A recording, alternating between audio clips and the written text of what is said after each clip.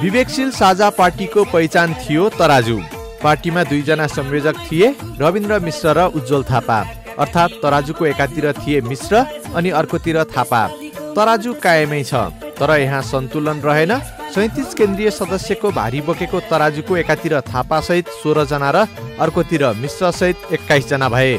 तराजुमा बसेका तीन प्रदेश सांसद मध्ये दुईजना थापातिर र मिश्रतिर एकजना भए। सङ्गठनात्मक सन्तुलन बिग्रिएपछि तराजु हल्लियो। हल्लिएकै तराजुबाट आफ्नो भाग निकालेर उज्जवल थापा नयाँ पार्टीका लागि निर्वाचन आयोग पुगे र विवेकशील नेपाली दल नामको दल दर्ताका लागि निवेदन बुझाए।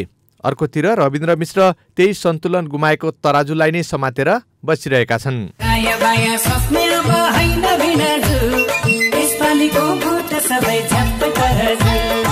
राष्ट्रिय सभामा काङ्ग्रेसलाई समर्थन गर्ने विषयबाट सन्तुलन गुमाउन थालेको तराजुलाई ढल्न नदिन पुरै कोसिस भयो। तर पनि पुस सत्ताइस गतेसम्म आउँदा तराजु ढल्यो। तराजु ढल्ने विषयमा मिश्र र थापा एक अर्कालाई दोषी देखाइरहेका छन्। थापा समूहले नयाँ पार्टी दर्ताका लागि निवेदन दिएपछि मिश्र समूहले विज्ञप्ति निकालेर थापाको नेतृत्वमा नयाँ दल दर्ताका लागि निर्वाचन आयोगमा निवेदन दिनु दुःखद भएको जनायो।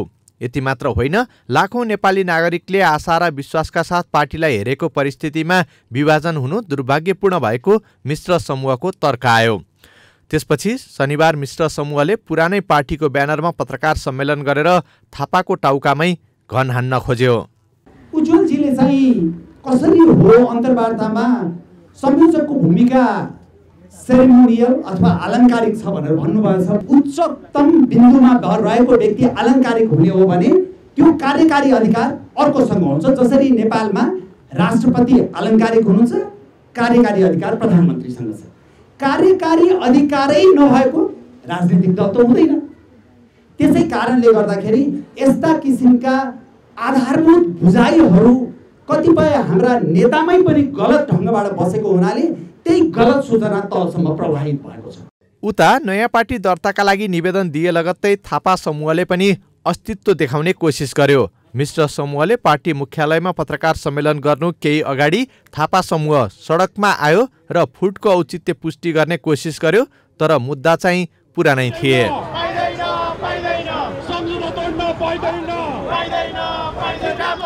अहिलेकै ढङ्गले अघि बढ्दा निर्णय प्रक्रिया अपारदर्शी हुने पार्टीमा सहभागितामूलक अभ्यास कमजोर हुने र सानो कोटरीले निर्णय गर्ने प्रवृत्तिले प्रशय पाउने भएपछि अलग भएको थापा समूहको भनाइ छ। समाज बदल्ने छाँटकाट नदेखिएपछि विकल्प खोज्नुपर्ने अवस्था आएको थापा समूहको तर्क छ। काम गर्दै गइसकेपछि चाहिँ आम नागरिकको समस्याको सम्बोधन पनि नहुने र पद्धति पारदर्शिता र सहभागितामूलक लोकतन्त्रको अभ्यास पनि नगरिने जुन संस्कार विवेकशील साझा पार्टीले अवलम्बन गर्दै आयो त्यसले चाहिँ आम देशको समस्याको निकास दिँदैन भन्ने कुरामा हामी विश्वस्त रह्यौँ।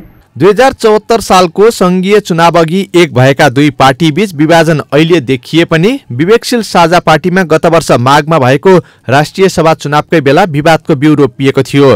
राष्ट्रिय सभामा काङ्ग्रेस समर्थित राधेश्याम अधिकारीलाई भोट दिने निर्णयले विवाद सतहमा ल्यायो। त्यसपछि सङ्गठनात्मक विवाद पनि देखिन थाले। विवेकशील भित्र भुसको आगो झैँ विवाद सल्कियो। प्रदेश तिनका संयोजक र प्रदेशका पाँच जिल्ला संयोजकको नियुक्तिले विवाद झन बढायो। असन्तुष्ट भएर चार केन्द्रीय सदस्यले पार्टी नै परित्याग गरे। यी सबै लफडा मिलाउन पुस तिस गते केन्द्रीय समितिको बैठक बोलाइएको थियो तर बैठक सुरु नहुँदै विवेकशील साझा पार्टी विभाजन भयो।